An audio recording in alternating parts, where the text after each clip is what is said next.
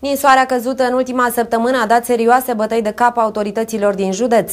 Tocmai de aceea primarii s-au mobilizat pentru a rezolva problemele întâmpinate. Spre exemplu, luni 17 decembrie a fost convocată ședința Consiliului Local Dolhasca cu scopul de a aloca bani din fondul de rezervă pentru combustibil necesar utilajelor de dezăpezire.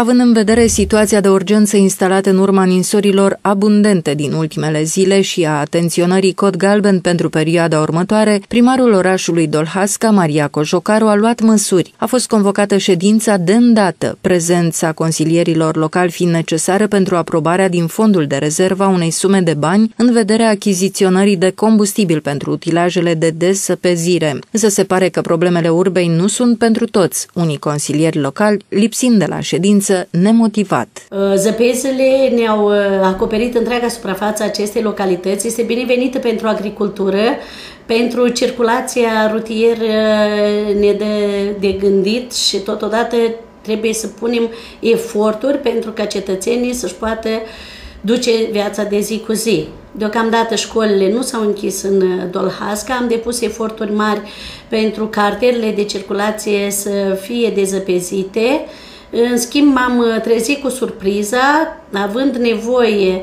de fonduri suplimentare pentru combustibilul necesar la dezăpezire, uh, domnii, o parte dintre domnii consilieri n-au participat la ședința de Consiliu Local uh, convocată de îndată pentru situații de urgență ceea ce îmi dă de gândit pentru următoarea perioadă, iar cetățenii probabil vor fi complet dezamăgiți de comportarea acestor consilieri.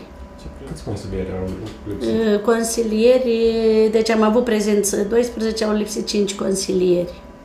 Posibil să fi fost și ei înzăpeziți? Mm, posibil nu puteau să fie înzăpeziți pentru că erau din apropiere și am rămas plăcut neplăcut surprinsă de atitudinea acestor uh, domni, care noi, eu ca primar, am fost uh, mare parte pe lista unora dintre dânsi, am luptat împreună pentru ca să ajungă consilieri și acum întoarce spatele cetățenilor care i-au votat.